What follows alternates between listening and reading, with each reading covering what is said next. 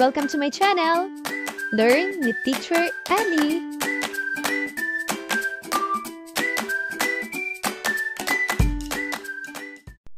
Grade 2, Revised K-12 Curriculum, Quarter 3, Mathematics, Week 5, Day 1. Objectives At the end of the lesson, the learner should be able to solve multiplication problems using the multiplication table of 2, including problems involving money. Find the product of each of the following.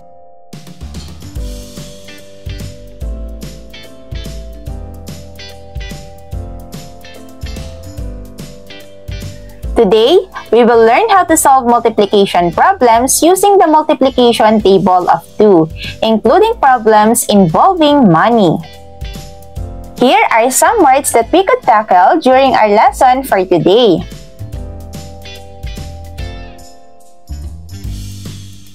Let us read the problem below and answer the following questions. For problem number 1, Rian wants to buy 2 packs of biscuits at the sari-sari store. Each pack costs 9 pesos. If Rian has 20 pesos only in her wallet, will she have enough money to buy the biscuits? Why or why not? Students, what does Rian want to buy at the sari-sari store? Rian wants to buy packs of biscuits.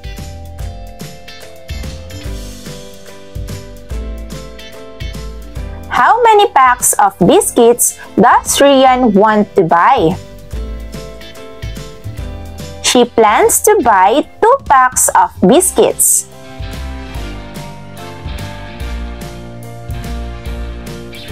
How much does each pack of biscuits cost?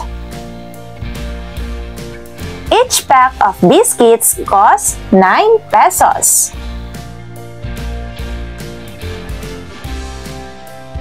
How much money does Rian have in her wallet? She has 20 pesos in her wallet.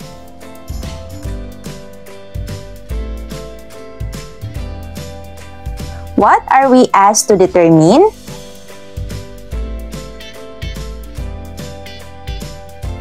We are asked to determine if Rian has enough money to buy the biscuits.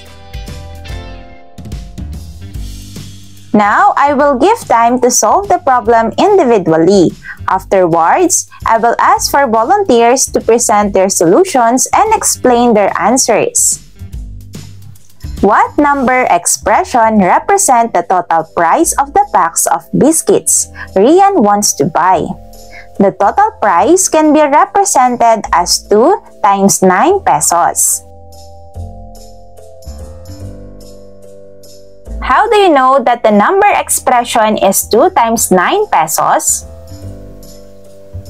Since Rian wants to buy 2 packs of biscuits and each pack costs 9 pesos, we can find the total cost by adding 9 pesos, which is the price of 1 pack twice. 9 plus 9 which is the same as 2 times 9.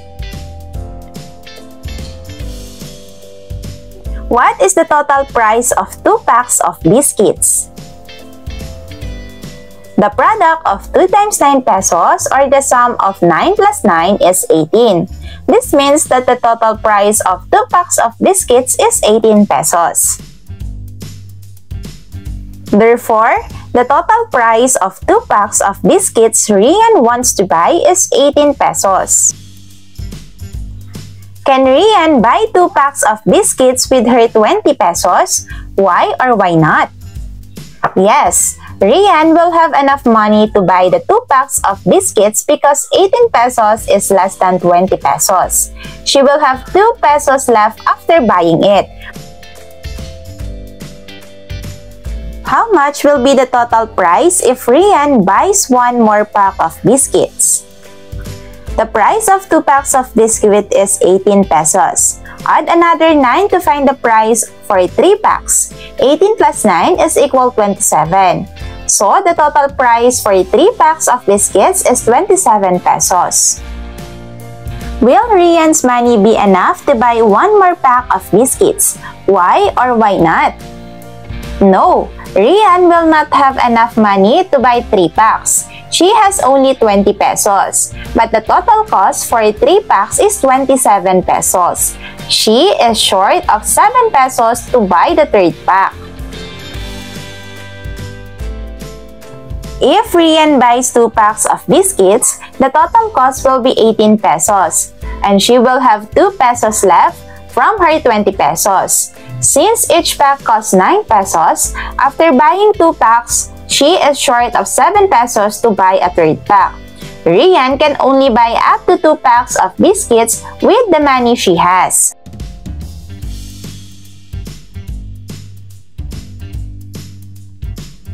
For problem number 2, Peter folds a large piece of paper in half each time. How many sections will the paper have after 4 folds? What does Peter have? Peter has a large piece of paper.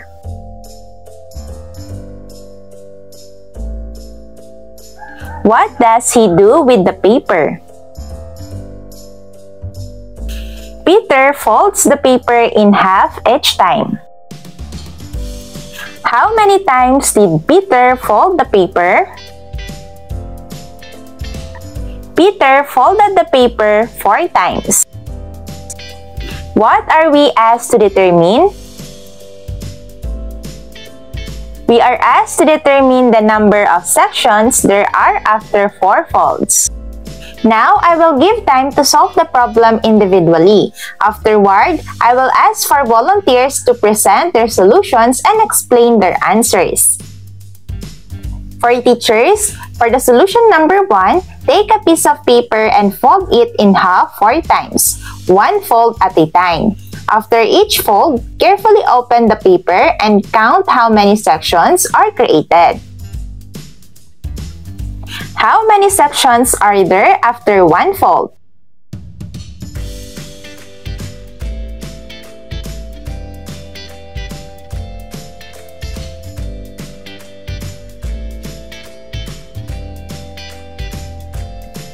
How many sections are there after two folds?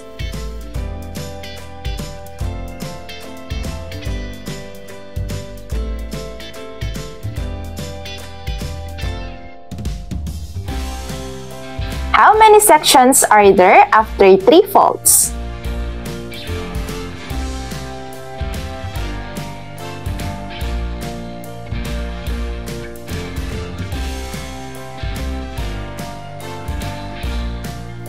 And how many sections are there after 4 folds?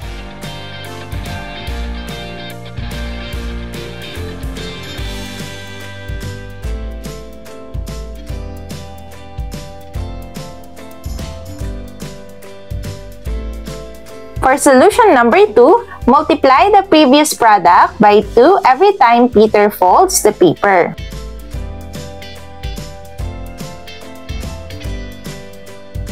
Why do you have to multiply by 2 each time Peter folds the paper? Each time Peter folds the paper, the number of sections doubles. This means that for every fold, the paper is cut into two smaller parts for each section. So after each fold, there are twice as many sections as before. How many sections are there when Peter folds the large piece of paper in half for the first time? There are two sections after the first fold. What happens when each of the two sections get folded into two smaller parts? The total number of sections doubles from 2 to 4. What happens when each of the four sections get folded into 2? The number of sections doubles again from 4 to 8.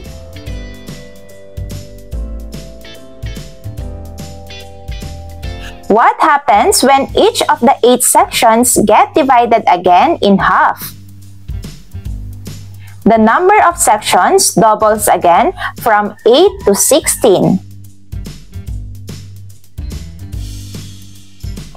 Therefore, there are 16 sections after Peter folded the paper in half four times.